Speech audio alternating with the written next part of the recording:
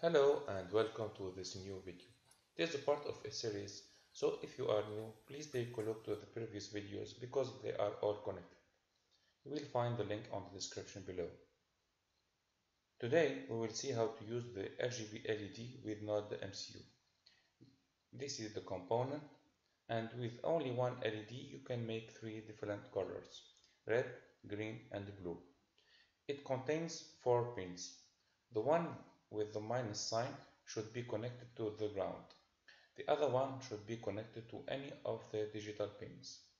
In my case, the R uh, for red is connected to D5, G for uh, green is connected to uh, D6, and B for blue is connected to D7.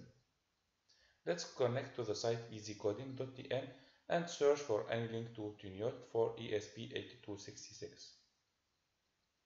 In my first program, I will switch on the red LED and make it blink every 2 seconds. For that, I need to make the pin D5 high and the others uh, D6 and D7 should be low. Remember that D5 is connected to the R pin in the RGB LED.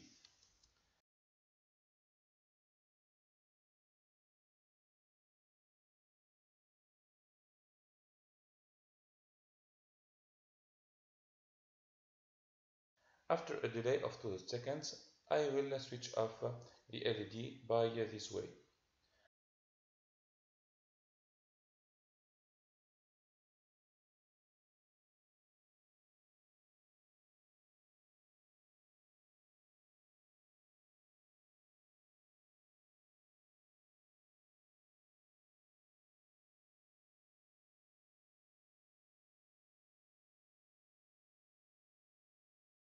Now I can upload the program. We already saw how to do that in a previous video.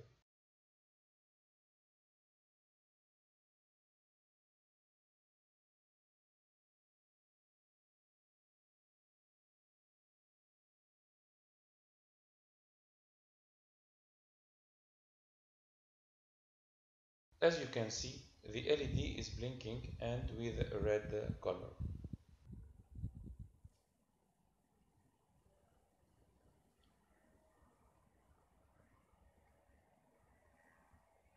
Now let's make the LED blink with the green light. The G pin is connected to D6, so only two blocks to change.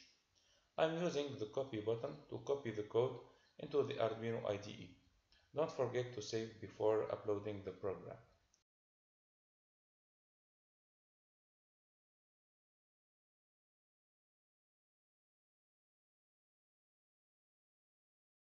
And uh, this is uh, the result.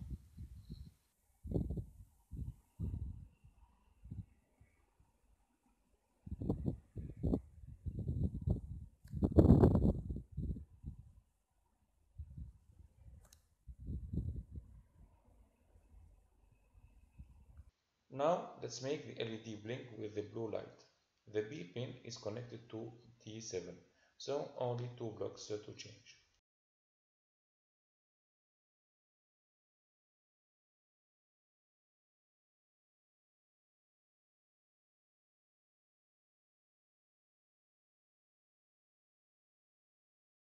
And here we are. I hope that you liked the video and see you soon. Bye.